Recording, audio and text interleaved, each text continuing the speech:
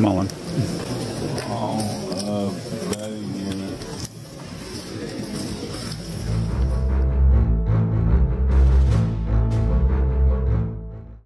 Previously on YouTube's The Drawing Dead. And yesterday, I pretty much got my ass handed to me all day. Quickly turn a chip stack looking like this into one that looks like this. But is that really the smart thing to do with the monster stack tomorrow?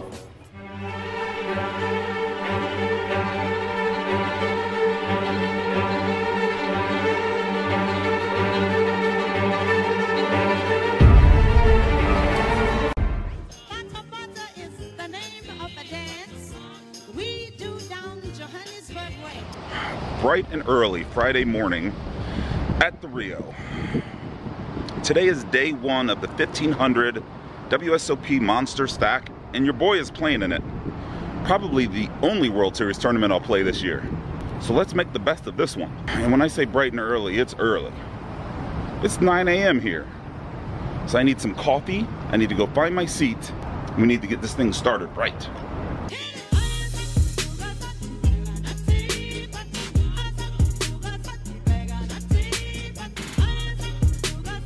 Tournament breakfast. Found some coffee, found some hash browns, pancakes, bacon and eggs too. Now it's time to find this seat. What are you gonna say to the people? The YouTubes. Hello, people. And everybody starts to move as soon as Bata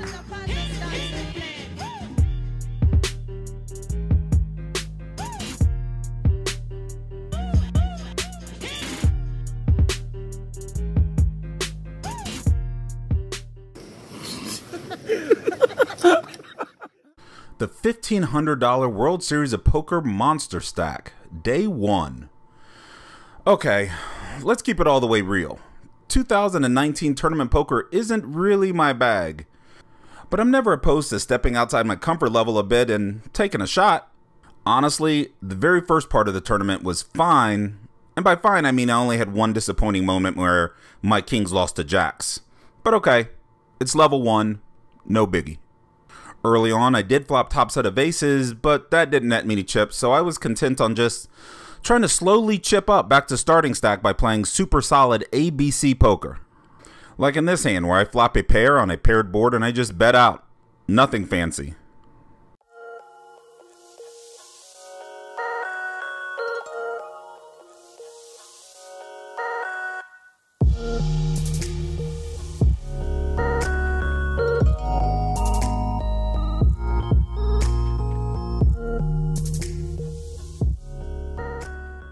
It took until level 3 with blinds at 100 200 where the first 200 chip big blind ante kicked in before people started playing back at each other. Although there was still a lot of limping, it became common now to see raises from in position players. My strategy to leverage deeper stacks and engage in a lot of post flop play early on was going to need to change.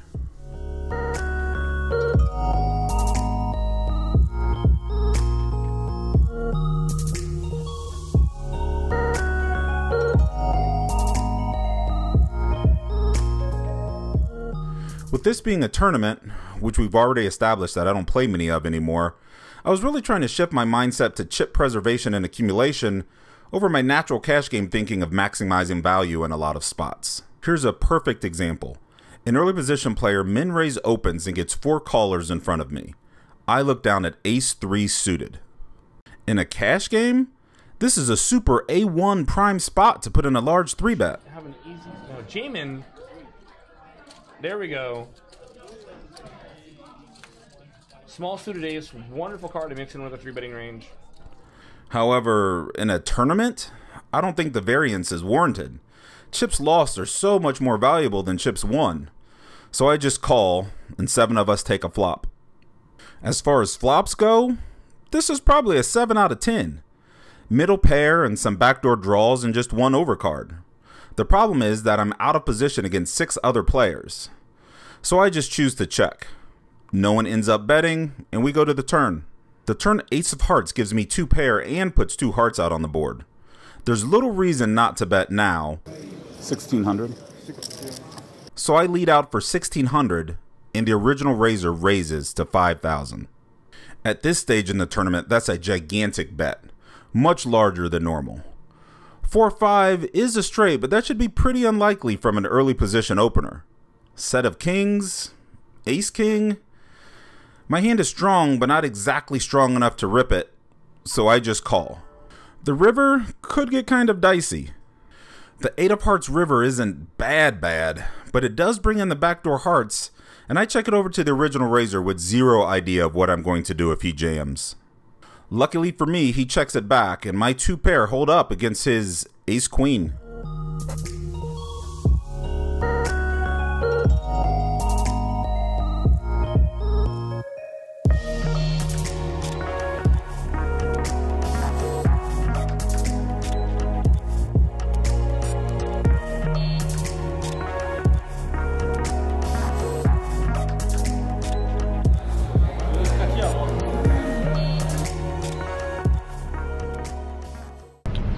We are currently on break number one of the monster stack.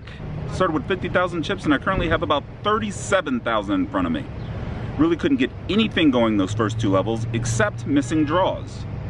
I missed a bunch of them. In fact, the only real hand that I won was with pocket aces. Is it going to take pocket aces for me to win a hand? Not only that, but I flopped the set. Other than that, a lot of steals. Some of them have been working, but most of them have not. Thus, I'm down 13 grand, but it's still early. I ain't worried. The table I'm on is actually pretty soft. There's a lot of limping, there's a lot of opportunities to get things done. I just got to do it. But this is just a 20 minute break, so I'm headed back in I'll let you guys know how it goes. Smile. I love meeting people that watch the vlog. That guy was from Germany.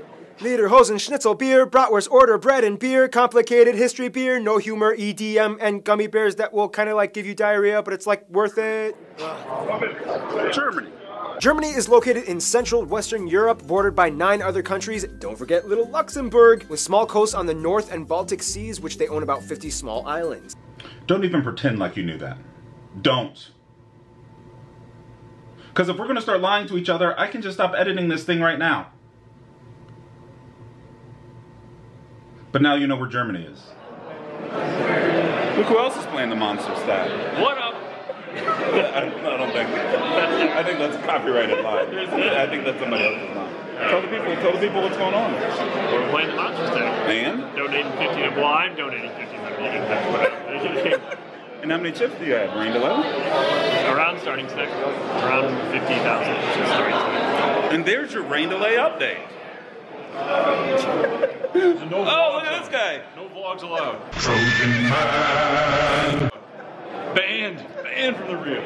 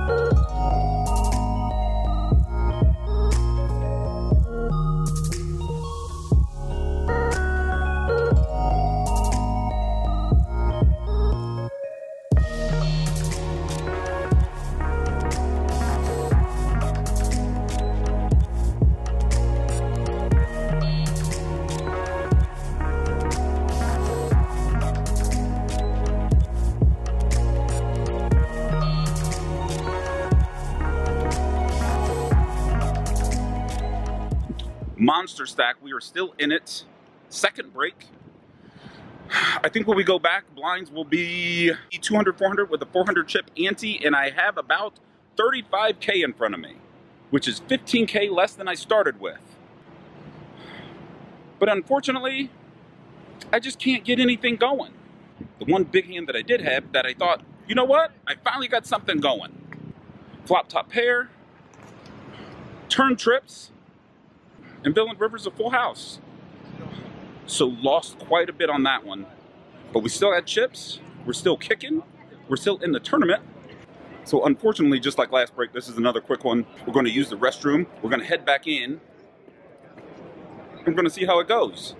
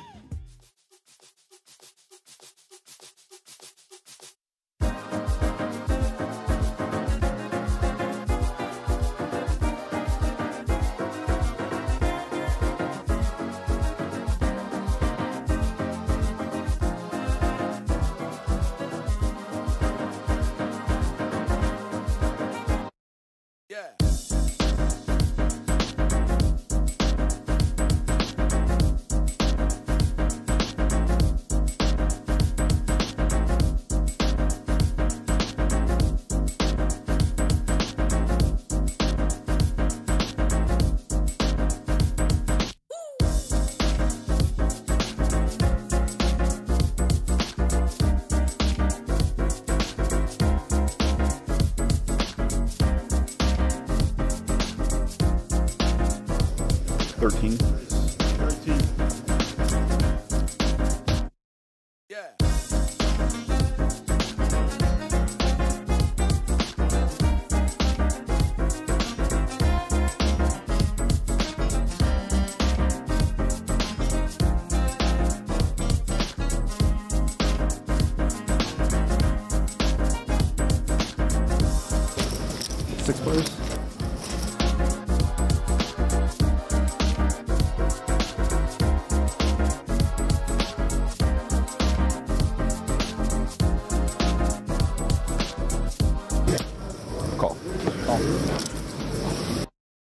Yeah.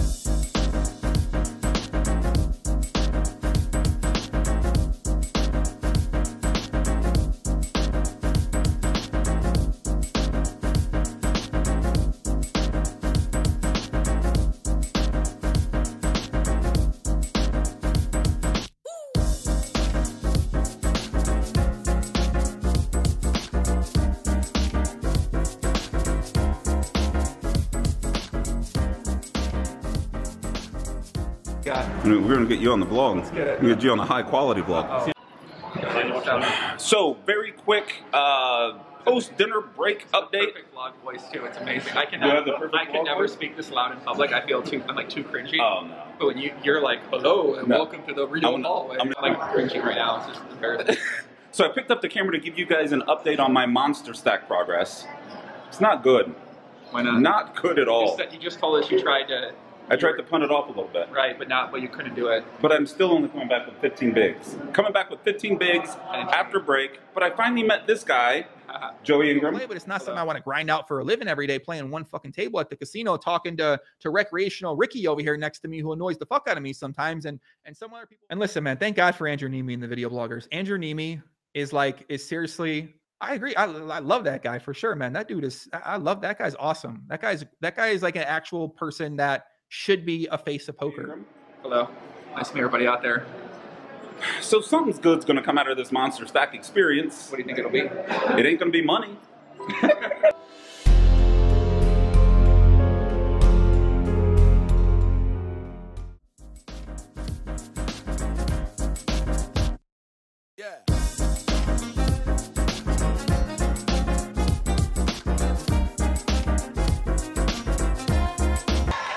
I ain't scared of you motherfuckers.